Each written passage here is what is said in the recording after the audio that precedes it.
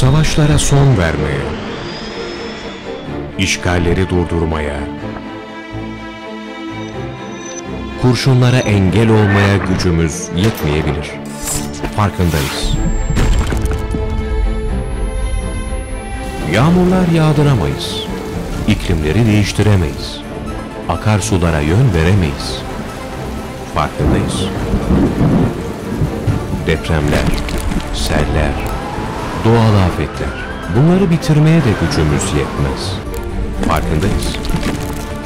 Dünyanın bütün yetimlerine, mazlumlarına ve yoksullarına da yetişmemiz imkansız.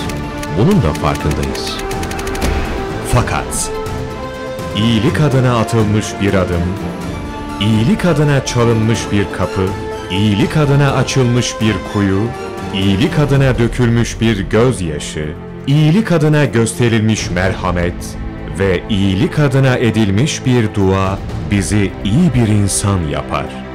Tarafımız belli olsun. Tarafımız iyilik olsun.